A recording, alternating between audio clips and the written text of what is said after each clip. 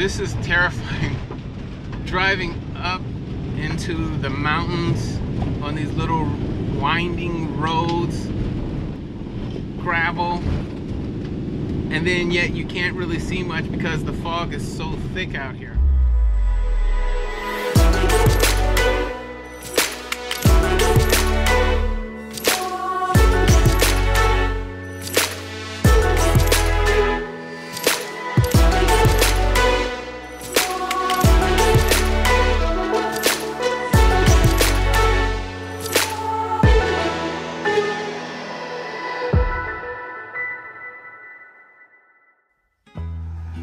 We're still exploring Iceland, and one of the best ways of appreciating its diverse landscape is to travel the Ring Road, Iceland's principal route that encircles the country connecting its far flung cities. We've left Reykjavik and headed out exploring.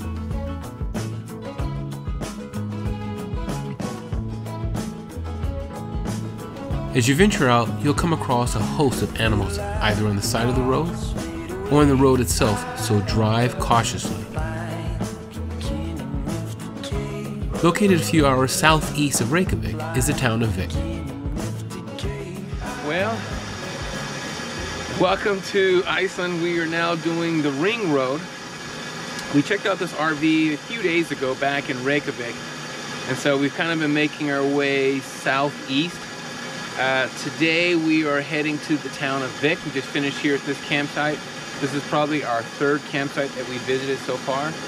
Pretty rugged. Bordered by rolling green hills and black sand beaches, Vik is a popular day trip destination for visitors short on time and looking for an escape from the city.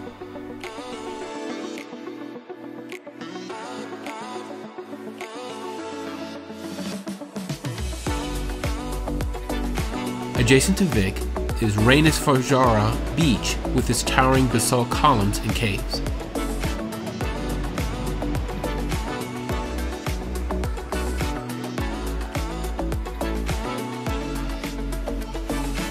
Another spot worth a visit is Seljaland Sofoss, located in the Rangárþing eystra, an area west of Vik. This is one of the few waterfalls in Iceland where you can go behind the waterfalls. It's incredibly wet here, so dress comfortably, preferably something water repellent.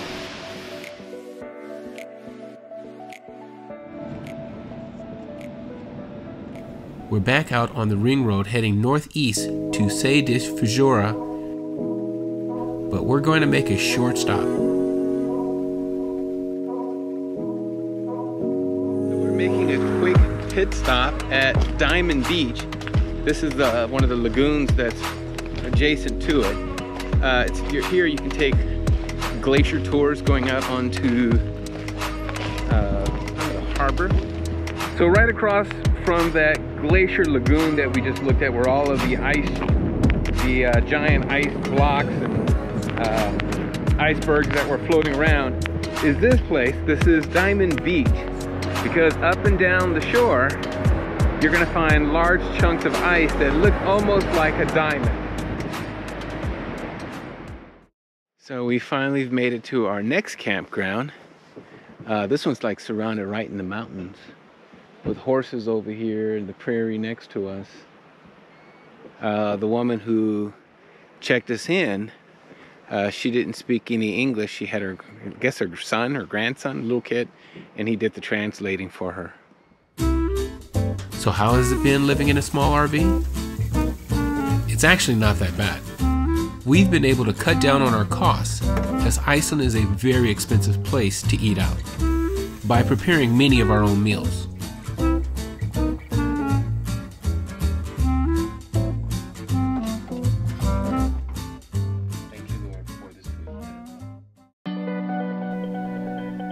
After our detours, we've made it to Seyðisfjörður, Iceland's port for departing ferries to continental Europe. It's also a day stop for cruise ships.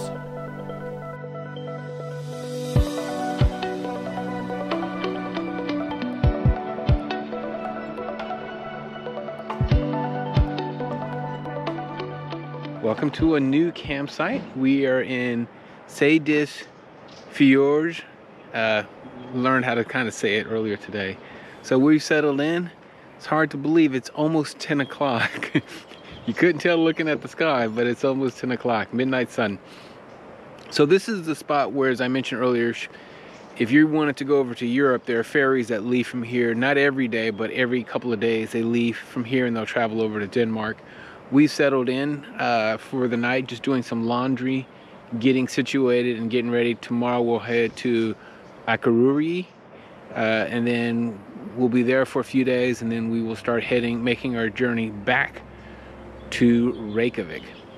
We're now heading northwest towards Akureyri, Iceland's second largest city. On the way there, we make two short stops. Our first stop is Mývatn Nature Baths. It's similar to the Blue Lagoon, like but more natural. It does. Look at your view, though. You can actually smell the sulfur here in the air.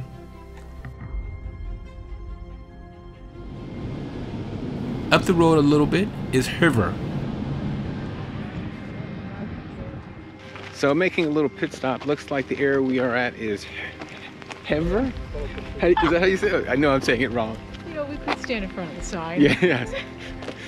So it looks like it's a geothermal area. It looks more like something from another planet.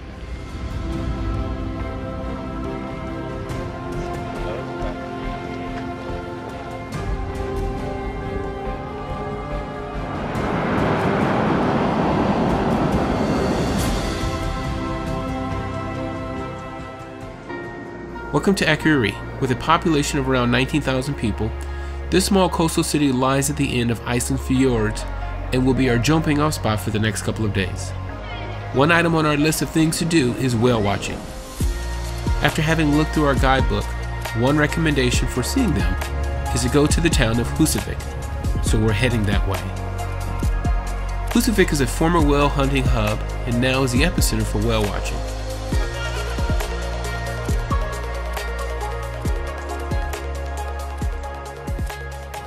Welcome to Husavik.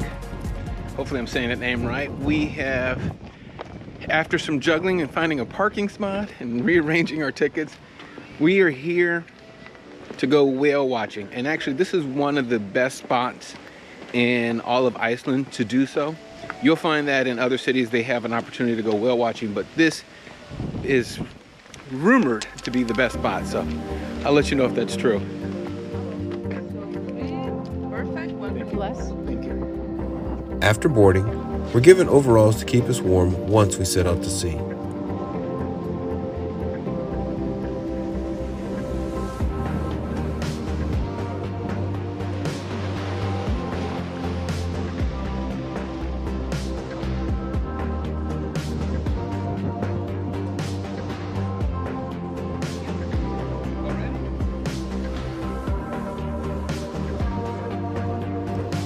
It doesn't take long into our journey before we begin seeing whales.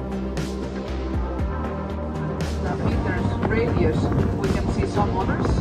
But these two, they are very coordinated, going to the same. Very close, really, really close.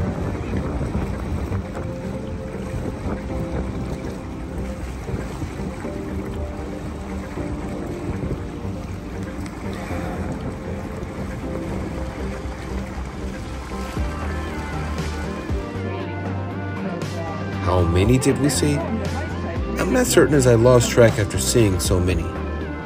But Husavik is definitely worth a visit. After 10 days of being out on the road, we're concluding our adventure by heading back towards Reykjavik. We're going to make one last detour before reaching the city. Since Iceland is so volcanic, one of the things that definitely recommend is a visiting uh, a lava field somewhere along your route. And so we're just a little bit outside of, uh, in midway between Akureyri and uh, Reykja- Reykjavik. Welcome to Grábrók Crater. It's more than 170 meters or 558 feet from the top of the crater to the parking lot below. Walk carefully as there are no railings here. The view from the top is definitely worth the trek. Well, nearly after two weeks of traveling around Iceland, we have come to the end of our trip. We've made it back to Reykjavik and we are preparing to start heading out to Ireland.